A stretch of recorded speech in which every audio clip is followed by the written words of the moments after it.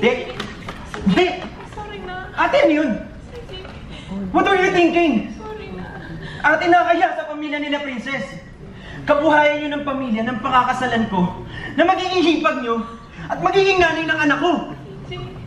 Ano yun? I'm so sorry na. Hindi ko naman alam na may mali siya pala yung nandun sa internet. Eh, ikaw na naman nag-iisip ng may mali siya eh. Alam mo bang gusto ka nang ipakulong nila, Tito Boy?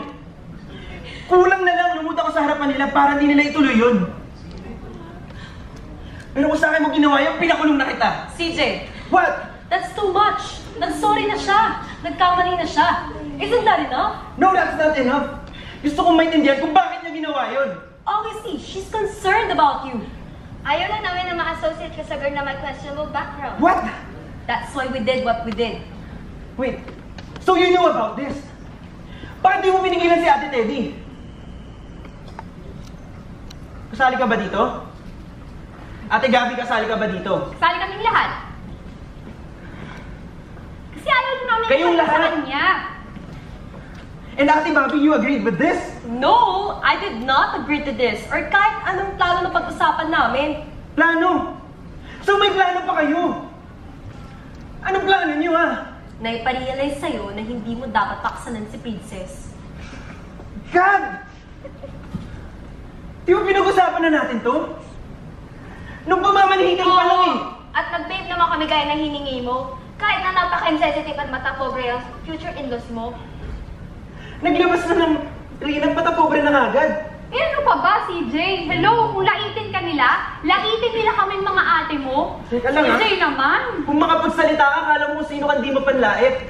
Ako pa ngayon ang naging mapanlait. Oo. I'm still offended na tinawag mo si Princess na charara.